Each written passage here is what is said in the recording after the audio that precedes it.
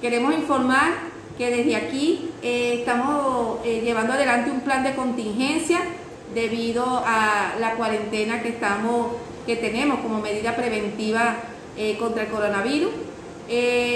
los especialistas están trabajando previa cita.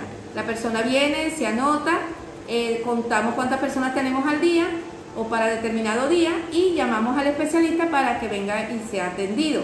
Igualmente, eh, estamos atendiendo lo que es rayos X y laboratorio todos los días hasta las 10 y media de la mañana.